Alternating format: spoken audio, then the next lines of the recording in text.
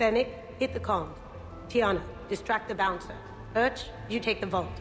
Avoid the thermal sensors. They trigger the lockdown. You'll hit motion sensors, and that'll alert security. Verk, steal a uniform. You go in as security, fake the arrest. Whoops, I seem to have the wrong casino. Kasumi? Take a walk, guys. I can explain. Thought you were working on the Crucible. You know, saving the galaxy. We get shore leave. Which you spend robbing casinos. People who can't get to the Citadel are having a rough time out there. This place has more money than it knows what to do with. It could help those refugees survive.